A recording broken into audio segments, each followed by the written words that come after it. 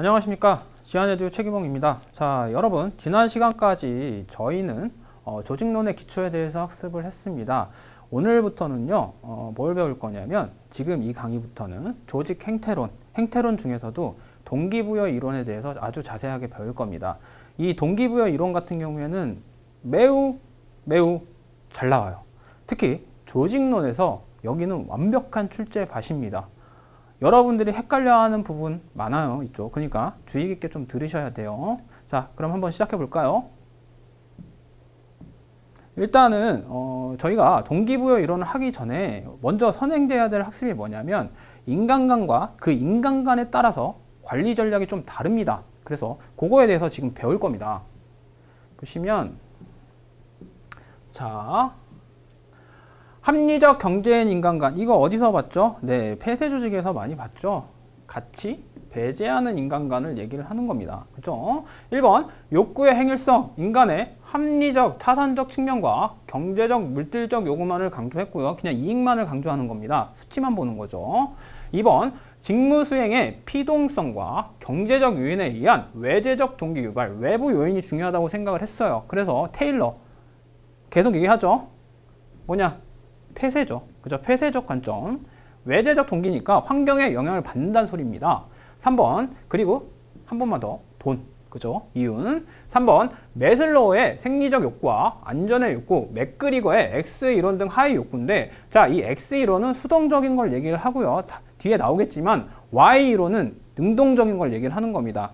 그래서 제가 한번 설명드린 적 있죠. Z 이론은 복잡인인데 그 Z 이론은 X 플러스 Y라고요. 그죠? 자, 4번 구조 중심의 관리 전략. 왜? 구조를 중시했으니까 외제적 요인을 중요시했기 때문에 환경과 구조를 중요시한 겁니다. 그래서 직무 조직의 합리적 설계. 5번 교환 모형, 당근과 채찍, 경제적 보상에 의한 유인 체계와 물리적 불이익이나 제재를 얘기하고요. 다음 2번 사회적 인간관. 이거 좀 중요합니다. 자, 1번 인간관계론 등. 자, 인간관계론 누굴까요? 네, 메이오입니다. 그죠? 근데 제가 여기서도 한번 설명했고 전 시간에도 한번 설명했을 겁니다. 메이오나 테일러나 둘 다 뭐라고요? 네. 폐쇄적인 환경관인데 하나, 메이오는 세련된 조정 방법에 불과한 거죠. 인간관계론 등 신고전적 조직 이론에서 강조된 인간관이며 2번 욕구의 해결성, 인간의 비합리적이고 감성적인 측면을 강조했고요. 3번 직무 수행의 피동성과 사회적 유인에 의한 외제적 동기를 유발했고 폐쇄적 인간관이기 때문에 환경에 영향을 받는다는 소리죠. 4번 자생적 집단과 소집단의 역할을 강조했으며 개인적 유인보다는 집단적 유인에 중시를 했고요. 5번 교환 전략은 고전적 이론과 동일하나 사회적 욕구에 근거한 좀 더 부드러운 방식입니다. 자, 3번 자아실현적 인간관. 자, 이거는 현대 사회에서 많이 강조된 인간관이죠. 1번 자신의 잠재력을 구현하라는 욕구를 가장 근본적인 것으로 파악하는 인간관이고요. 2번 성장 이론에 기반을 둔 인간관, 후기 인간관계론에서 강조를 했습니다. 3번 인간의 능동성과 성장 및 자기실현 등 내재적 요인에 의한 동기부여. 자 보세요. 위에 두 개는 외재적이죠. 폐쇄적인 환경관이기 때문에 그래요. 근데 3번 이건 내재적. 내부적인 요인을 중시한다는 겁니다. 심리 요인을 중시한다는 소리죠. 4번 메슬로우의 자아실현 욕구, 아지리스의 성숙인, 맥그리거의 Y론 등 고급 욕구. 아까 얘기했죠? Y론 뭐라고요? 능동적인 인간관을 얘기하는 겁니다. 5번 외적 보상보다는 성취감 또는 만족감과 같은 내적 보상을 중시했고요. 6번 도전적이며 의미 있는 직무, 참여 관리를 통한 문제 해결을 지시를 했습니다. 7번 관리자 역할, 면담자 또는 촉매자라고 되어 있는데요. 자, 이 촉매자라는 게 자아 실현을 촉매하는 역할을 한다. 그래서 촉매자라는 역할을 하는 겁니다. 이해하셨죠? 그래서 1, 2, 3번 보시면 자, 이 1, 2번은 약간 좀 고전적이죠. 고전, 신고전. 그지? 근데 3번은 약간 현대적이죠. 이런 것들 어, 이렇게 구분하시는 거 외워두시고 이 특정 있잖아요. 특징, 특징 같은 것들 한번 눈으로 봐주세요. 넘어갑니다. 자, 드디어 동기이론 나오네요. 동기이론 관련 개념 1번 직무 만족, 직무에 대한 개인적인 태도를 의미하며 직무 관여, 기본적인 요구 수준을 넘어서서 자발적으로 직무를 수행하는 정도를 얘기하는 거고요. 자발적으로. 자, 예를 들어 볼까요? 여러분, 제가 이거 강의를 찍는다고 해서 뭐, 어, 수당을 더 받거나 월급을 더 받거나 하지 않아요. 근데 이거는 제가 여러분들을 좋아해서 찍은 거니까 이런 것들, 그런 것들 얘기하는 거 맞죠? 그리고 솔직히 이런 교환 만들 때도 오래 걸립니다. 그래서 그래요. 3번, 조직 몰입. 조직에 대한 개인의 태도, 직무 만족에 비하여 포괄적으로 장기적인데 이 조직 몰입이랑 조직 몰입의 경우에는요. 뭐냐? 뭘까요? 이 조직 몰입이 잘 되면 그 조직은 오래 갑니다. 근데 전에 한번 얘기한 적 있죠. 전 조직에 어울리는 사람이 아닙니다. 하지만 여기는 만족하니까 있는 거예요. 그러면 가치관끼리 상충하죠. 저도 일종의 조직 몰입을 하고 있는 거죠. 그죠? 2번 동기부여 이론의 종류 1번 내용 이론 욕구 충족과 동기부여 간의 직접적인 인간관계를 가정했고요. 동기를 유발하는 내용을 규명하는 데 중점을 두, 두는 이론입니다. 그래서 욕구 충족과 동기부여 간의 직접적인 인과관계를 가정한 겁니다. 그러니까 욕구를 어떻게 충족하느냐? 그런 원인가 있을 거 아니야. 원인이 있으니까 결과도 나올 거 아니야. 이거를 가정하고 들어가는 겁니다. 자, 뭘까요? 일종의 연역법이죠. 그죠? 자, 2번. 욕구 충족과 동기부여 간의 직접적인 인과관계를 부정했으며 동기가 어떤 과정을 통하여 유발되는가를 설명하는 이론입니다. 따라서 내용 이론에는 뭐뭐가 있고 과정 이론에는 어떠 어떤 사람이 있다. 이 정도는 아셔야 됩니다. 이게 1번이 이쪽으로 가서 나와요. 다음 중 내용 이론을 주장한 학자가 아닌 것은 또는 다음 중 과정 이론을 주장한 학자가 아닌 것은 이런 식으로 나와요. 1번 내용 이론은 메슬로우 욕구 5단계설, 엘더퍼 ERG 이론, 맥그리거 뭐 XY 이론, 아지리스 뭐 성숙인 미성숙인 이론. 자, 저처럼 이렇게 줄줄 나와야 돼요. 어, 그 다음에 아지리스, 리커트, 허즈버그 욕구 충족 이 요인론, 만족, 불만족, 맥클리랜드, 해크맨 올덴, 브룸 VIE 이론, 포터 앤 롤러 업적 만족 이론, 아담스의 형평성 이론, 로크, 그 다음에 스키너. 근데 스키너는 안 배울 겁니다. 왜 그러냐면 스키너는 사실상 행동 심리학하고 관련이 있고요. 어, 강화 이론 또 강화 학습, 심화 학습 뭐 이런 용어가, 용어가 있기 때문에 솔직히 말하면 행정학에서 다루기엔 좀 어려워요. 어, 이거는 안 하는 게 나을 것 같아요. 그래서 뺐습니다. 넘어갑니다. 자, 동기부여의 내용 이론, 메슬로우, 자아실현 욕구, 그 다음 존경 욕구, 그 다음 사회 욕구, 그 다음 안전 욕구, 그 다음 생리 욕구죠. 자, 보시면 생, 안, 사, 존, 자 이렇게 외우는 겁니다. 근데 이게 뒤에서 나오겠지만요.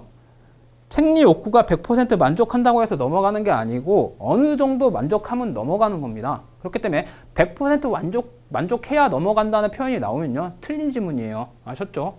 아닙니다. 자, 그 다음 엘더퍼. 엘더퍼는 이 생안사존자를 나눴어요. 세 가지로 나눴어요. 성장, growth 욕구, 다음 관계, relationship 욕구, 다음 생존 욕구, existence. 근데 이 ERG 이론이 어떻게 돌아가냐면 이렇게 갔다가 이렇게 갔다가 그러니까 욕구의 퇴행성을 인정을 했다는 소리입니다. 근데 메슬로우는 인정을 안 했죠. 이 차이예요. 3번 맥그리거 X이론, Y이론. 아, 거꾸로 읽었네. 자, X이론, X이론 수동적인 거고 Y이론은 능동적인 사람을 얘기하는 거고 자, 그러면 X이론은 뭐가 환경의 영향을 많이 받겠네요. 그죠? 그럼 Y이론은 당연히 자아실현 쪽이겠죠? 내면적인 영향을 많이 받겠죠. 내재적 요인. 그다음 아지리스 성숙인 미성숙인. 그 다음에 리커트, 참여민주, 협의민주, 운정, 운정관이 착취권인데, 뭐, 이거는 굳이 수동적인 거죠? X이론. 그죠? 나 허즈버그, 동기요인, 위생요인, 이렇게 욕구 충족 이 요인으로 나눠져 있다. 이게 중요한 겁니다. 그래서 메슬로우, 그 다음에 엘더퍼, 허즈버그까지는 알아두셔야 됩니다. 지금 배울 거예요. 자, 메슬로우 드디어 나오네. 어, 볼까요? 자, 생리적 욕구, 의식주, 성욕, 보수, 기본급, 근무 환경 등 외재적인 거죠, 거의. 그죠? 2번, 안전욕구, 후생복지, 연금 등 신분보장, 정년, 고용보장 등 사회적 욕구, 우정, 친교, 인사상담, 고충 처리 등이고요. 존경욕구, 명예, 쥐, 인정, 신망 등을 얘기하는 거고요.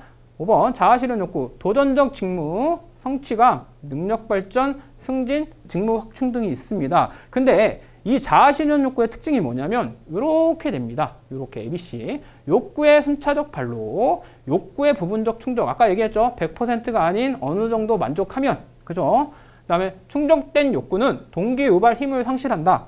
어, 어느 정도 만족하면 만약에 생리적 욕구에서 어느 정도 만족해서 넘어갔어요. 그러면 이거 동기부여가 안 되는 거예요. 다시 새로 가는 겁니다. 물론 퇴행은 인정이 안 됐습니다. 퇴행이라는 건 거꾸로 간다는 의미인데 메슬로는 그걸 인정을 안 했어요. 하나의 욕구가 하나의 행위를 유발하면 어, 1대 다관계가 아니라 1대1 관계라는 소리입니다. 이해하셨죠? 7번 가장 궁극적인 욕구의 끝은 자아 실현 욕구면서 가장 우선순위가 높은 욕구는 생리적 욕구입니다. 왜? 이게 채워져야 다음 단계로 가는 거예요. 실제로 보면 욕구 계층화에서 보면 밑에 생리적 욕구가 가장 큽니다. 아셨죠? 8번 욕구의 퇴행성 간과했고요. 욕구 체계의 획일성을 가정했습니다. 개인차를 의식하지 못했어요. 이것 때문에 비판을 많이 받았어요. 자, 엘더퍼 나오네요. 보시면 엘더퍼 욕구를 충족시키는 행동의 추상성을 기준으로 분류했고 그래서 ERG 아까 얘기했죠. Existence Relationship Growth 그죠? 다음에 생존 욕구, 생리적 욕구, 안전 욕구를 플러스한 게 Existence 욕구고 다음에 관계 욕구, Relationship, 사회적 욕구 플러스 존경 욕구고요. 성장 욕구, 그로스 욕구는 존경 욕구 플러스 자아 실현 욕구입니다. 그래서 보시면 메슬로우의 욕구 5단계설을 2 플러스 2 플러스 2로 나눴어요. 물론 겹치는 부분도 있기 때문에 아까 그 표에서 겹치는 부분은 표시해 놨었죠. 어, 그거 잘 보셔야 됩니다. 5번 메슬로우와는 다르게 욕구의 좌절퇴행까지 제시를 했고요. 그 다음에 6번 개인차를 고려하지 못한 것은 메슬로우와 동일했습니다. 그렇기 때문에 엘더프와 메슬로우는 개인차를 고려하지 못한 것 때문에 비판을 많이 받았어요. 이거 시험 지문에 많이 나오니까 외워두세요. 29번 맥그리거, 맥그리거의 XY 이론, 외제적인 통제를 강조하는 X 이론은 시대에 부적합한 이론이라고 비판을 했고요. 2번 구성원들의 동기를 최대한으로 유발시킬 수 있는 Y이론적 관리 제재를 주장했습니다. 자, Y이론은 뭐라고 했어요? 음, 능동적인 거죠. 능동적인 거면 내재적 요인이죠. 내재적 요인은 자아실현 욕구죠. 동기를 최대한 유발하는 거. 그죠? 그 다음에 3번. 지나친 이분법적 시각. 왜? XY로 나눴기 때문에 완전히 흑 아니면 뱅. 그 흑백 논리라고 하는데 그 논리를 여기에 적용을 시킨 겁니다. 그렇기 때문에 비판을 많이 받아요. Y 이론의 이상성을 강조했고 성선설입니다. 과학성이 미약했으며 직관적으로 추론된 가정들로 구성되어 있습니다. 내용 이론 1번 외제적 동기부여, 피동적 존재, 교환 전략, 경제적 보상 체계 강화, 권위주의적 리더십, 직권적 의사결정, 그다음에 처벌의 위협, 명령과 점검, 관용과 설득, 대인관계 개선인데 자 여러분 이거 잘못됐습니다. Y 아 X 이거는 Y입니다. Y 인간관, X 인간관이에요. X 관리 정력이죠. 그래서 외제적 동기, 환경, 그다음에 피동적 존재. 아까 얘기했잖아요. 수동적인 거, 그죠? 그다음에 교환, 돈을 줄게 넌 일해 이런 겁니다. 테일러, 그죠? 그다음 경제적 보상 체계의 강화, 돈, 그리고 권위주의적 리더십 따라 수동이니까. 자, 직권적 의사결정.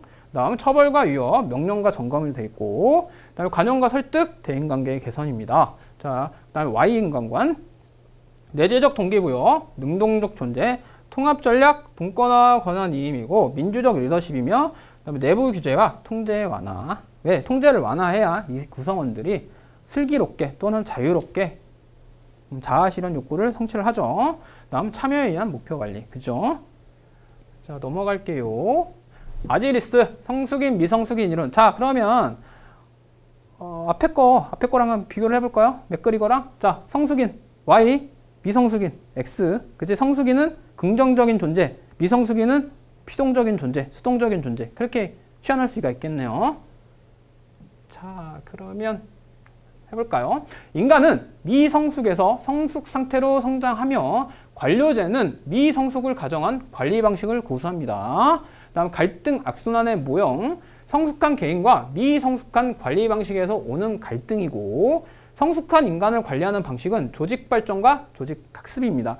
조직 발전은 솔직히 organization development 아 발음이 안 되네. organi 다시 한번 나 이거 하고 말 거야. 자 올거니 나이 안 할게요. 그냥 오디라고 하는데 그 오디랑 똑같은 겁니다. 아이씨 미안합니다. 자 미성숙인 1번 수동적 활동 의존적인 상태면서 2번 변덕스럽고 얕은 관심도 3번 단기적 전망 4번 종속적 지위에 만족하며 5번 단순하고 제한적인 활동이고 6번 자아의식이 결여되어 있습니다. 왜? 미성숙은 X이론이잖아. X이론은 뭐라고요? 수동적인 존재죠. 그죠? 자, 성숙인 Y론 1번 능동적인 활동, 독립적인 상태를 얘기하면 왜? 자발적이니까. 그죠? 2번 깊고 강한 관심도 있고요. 3번 장기적 전망. 그지? 왜? 자아실현은 장기로 해야 되지 단기로 하는 게 아닙니다. 4번 대등 내지 우월한 지위에 만족하며 5번 다양한 행동이고 6번 자아의식 및 자기통제 기능이 강화되어 있습니다. 그죠? 자 넘어갑니다. 허즈버그의 욕구 충족 이요인론. 자 여러분 어 이거 되게 중요해요. 아까 얘기했지만 여러분들이 지금 중점적으로 봐야 될 거는 앞에서 얘기한 거. 누구? ERG 이론 주장하는 사람이랑 또 한 명 더 있나? 어 메슬로우. ERG 이론 사람 이름이 생각이 안 나면 그냥 ERG 또 그냥 욕구 5단계설 그 다음에 욕구 충족 이유는 이 정도까지는 외우셔야 됩니다. 자 1번 이원적 욕구구조 왜? 불만 불불만 뭐 그런 것도 있고 여기 보시면 만족 요인 있고 불만 요인 이렇게 있죠. 그냥 이분법적 사고죠. 아까 맥그리거 비판받은 거랑 똑같죠. 자 이원적 욕구구조 불만과 만족은 별개의 차원으로 상호 독립된 것이며 불만 요인, 위생 요인은 동기부여의 필요 조건이며 불만 요인의 제거는 작업의 손실을 막아줄 뿐 생산성을 높여줄 수는 없습니다. 이거 지문 많이 나와요. 자, 불만 요인은 동기부여의 필요 조건이지만 불만 요인의 제거는 작업의 손실을 막아주지 작업 능률을 향상시켜주는 게 아닙니다. 그죠? 생산성 뭐라 그랬어요 앞에서? 이건 사실상 효율성과 능률성을 결합한 개념이기 때문에 둘 다 해당이 되는 거예요. 그렇기 때문에 그냥 제가 말씀드린 것처럼 생산성 높여줄 수는 없다. 이렇게만 외우시면 돼요. 자, 3번. 기사와 회계사를 연구하여. 자, 보시면 기사와 회계사 범주가 다르죠. 그죠? 연구 대상의 일반화와 곤란. 그죠? 범주가 다른데 어떻게 일반화를 해? 그 다음에 개인차를 고려하지 못했습니다. 4번. 동기 요인의 과대평가. 중요 사건 기록법에 의한 자료 수집. 그냥 중요한 사건만 기록을 하지 세부 내용을 기록을 안 해요. 그렇기 때문에 어, 세세하게 이걸 판단할 수가 없는 거죠. 그죠? 자, 동기 요인, 만족 요인. 사람과 일의 관계 내재적이며 직무 그 자체 직무 만족도를 얘기하며 3번 직무상 성취감과 안정감을 가지고 있고요. 4번 책임과 성장 및 발전 동기요인은 이렇다는 거죠. 다음 위생 요인 불만 요인인데 여러분 여기서 중요하신 게 뭐냐면 중요한 게 뭐냐면 지위가 들어가요. 그죠? 지위는 사실상 이거 회사에서 주는 지위가 있지만 심리적인 지위도 있기 때문에 요것 때문에 여러분들 많이 헷갈려요. 위생 요인, 불만 요인에서 다시 한번 1번 사람과 직무 환경 등 외재적 요인을 중요시했으며 2번 조직의 정체성과 행정, 감독, 보수, 지위인데 이 지위 같은 경우에는 심리적 지위가 있고 뭐 그냥 회사에서 주는 구체적 지위가 있기 때문에 헷갈려하시면 안 됩니다. 지위 여기 들어가요. 위생 요인에 그죠? 그리고 만족 요인에서도 직무 만족도 조심하셔야 돼요. 자 안전 그 다음 4번 대인 관계 대인 관계 맞네 여기 나오네 대인관계도 심리적인 거잖아요. 그죠? 근데 이 불만 요인이 들어가 있어. 그러니까 조심해야 돼. G랑 대인관계는 불만 요인이다. 이거 바꿔서 많이 나옵니다. 동기 요인이라고. 주의하셔야 돼요. 다음 작업 조건. 이제 이해하셨죠? 자, 맥클리랜드의 성취 동기 이론 1962년도에 주장을 하셨고 1번 모든 사람이 공동의 욕구 계층을 가진다는 메슬로의 이론을 비판했으며 욕구는 사회적 과정에서 학습되고 비판되므로 아 개발되므로 개인마다 계층의 차이가 존재한다고 봤습니다. 3번 상위 욕구 중심으로 권력 욕구, 친교 욕구, 성취 욕구로 구분이 됐고요. 권력, 친교, 성취네, 권친성이네. 어 이름 좋네. 권친성. 그죠? 4번 성취 욕구가 높을수록 생산성이 높으므로 성취 욕구에 자극을 강조했으며 5번 한 나라의 경제 성장은 그 사회 구성원들의 성취 욕구의 함수라고 봤죠. 함수가 뭐냐면 fx는 뭐 그냥 1차함수를 쓸게요. x 플러스 b인데 이 a랑 b의 값에 따라 b는 뭐 상수니까 빼고 a 값에 따라서 뭐 이렇게 늘어난다 이런 거죠. 우리 아까 앞에 앞에서 정책론에서 잠깐 배운 적 있어요. 어, linear planning 거기서 나오는 것들입니다. 아니면 회귀 분석이나 자 6번 성취 욕구의 향상 방안 중간 수준의 적당한 목표 계산된 위험의 선호 구체적인 피드백이 있어야 되고요. 여기까지가 맥클리랜드의 성취 동기 이론이고 이거 그냥 제가 왜 읽는 줄 읽는 줄 아세요? 어, 이 사람 별로 잘 안 나옵니다 시험 문제 많이 그러니까 아예 안 나온다는 소리가 아니라 간혹가다 간헐적으로 등장해서 그냥 읽고 넘어갈게요. 단 요거는 외우셔야 돼요. 상위 욕구 중심으로 권력 욕구, 친교 욕구, 성취 욕구로 분류가 된다. 요거랑 그다음에 성취 욕구의 향상 방안, 중간 수준의 적당한 목표. 성취 욕구의 상상이 이 성취 욕구 자체를 그냥 높이는 거, 그냥 딱 높이는 거 이렇게 보기 때문에 중간 수준의 적당한 목표라고 보지를 못해요. 이거 들어갑니다. 그 다음에 계산된 위험의 선호, 구체적인 피드백. 아셨죠? 자, 33번. 해크맨과 올드햄의 직무 특성 이론. 직무 특성이 직무 수행자의 성장 욕구 수준에 부합될 때 긍정적인 동기가 유발된다고 봤고요. 2번. 개인의 성장 수준이 직무 특성과 심리 상태 및 성과 등을 조절하는 변인으로 작용합니다. 변인은 변화되는 요인을 변이라고 그래요. 다시 한번. 변인, 변화되는 요인 해서 앞에 변인. 그죠? 다음 4번. 자율성과 활류가 가장 중요한 요인이면서 5번. 성장 욕구 수준이 높으면 활류와 자율성을 높여주는 내재적 동기부여가 효과적이에요. 자, 성장 욕구 수준이 높으니까 내가 발전할 가능성이 있는 거 아니야? 그 가능성이 있으니까 거기에 활류와 자율성만 조금 해주면 너 이거 이거 잘못됐어라고 집어주고 자율성을 좀 주면 동기부여가 자동으로 되죠. 나는 자아성장을 하고 싶으니까요. 그죠? 자, 6번. 성장 욕구 수준이 낮으면 정형화된 단순 직무를 부여할 경우 동기 유발이 촉진되는 거죠. 그죠? 성장 욕구 수준이 낮으면 자아 실현 욕구가 떨어진다는 소리인데 자아 실현 욕구가 떨어지면 당연히 수동적인 것만 보는 거잖아요. 그죠? 자, 직무 특성. 기술 다양성, 기술 종류를 얘기하고 직무 정체성, 완성도에 기여하는 정도를 얘기하는 거고요. 직무 중요성, 삶의 영향을 얘기하는 겁니다. 근데 그냥 보지 마세요. 안 나옵니다. 안 나온다는 게 아니라 잘 안 나옵니다. 요 정도 수준만 아시면 될 것 같아요. 그냥 직무 특성이 있고 심리 상태가 있고 그다음에 결과 및 성과 뭐 이렇게 돼 있다. 이 정도만 아시면 될 것 같아요. 자 넘어갑니다.